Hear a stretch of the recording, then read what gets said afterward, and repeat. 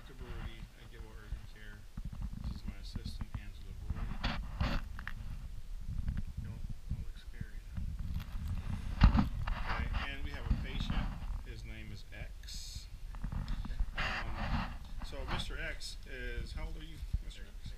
This is a 39-year-old male who comes to the clinic with three days of right hand and wrist pain and swelling.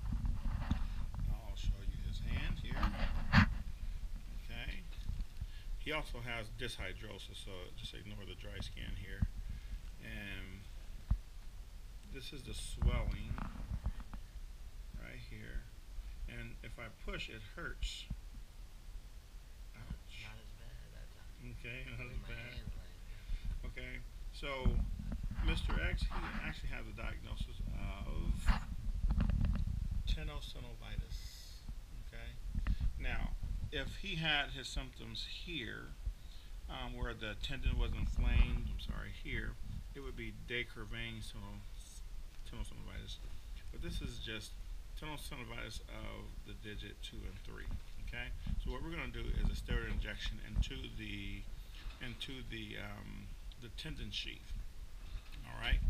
So I'm going to have um, my assistant give me some buffs, and we're going to inject a mixture of the steroid is dexamethasone, eight milligrams. We're going to, mix it with um, six milligrams, I mean six cc's of lidocaine. I'm sorry, eight cc's of lidocaine, two percent. I'm not going to use a strong, long-acting steroid because I don't want him to have um, cutaneous or skin problems like ulceration of the skin. Okay, I'm gonna put it on my face. Right here. Okay, this is iodine. We're going to um, scrub the skin with iodine. It's not a good idea to introduce bacteria under the skin. Okay, watch this here. Okay. We're not going to introduce bacteria that side. right here. Yeah, more on that side. Okay. Then I'm going to wipe with alcohol. Okay.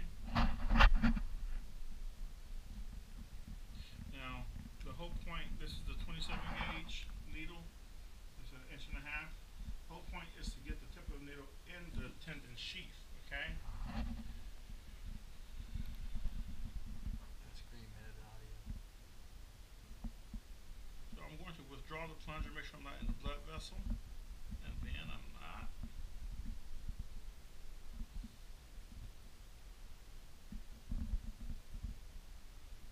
Notice as I push, you have swelling going forward, but the needle isn't that long. That means I'm in the sheath.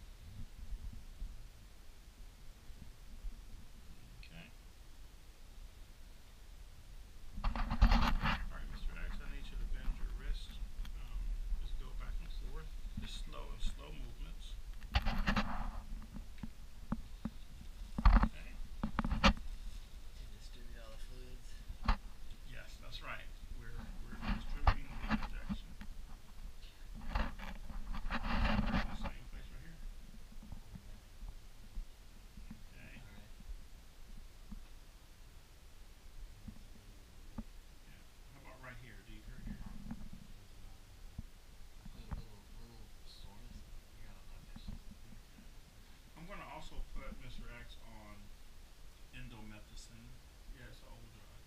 Um, it comes in a capsule.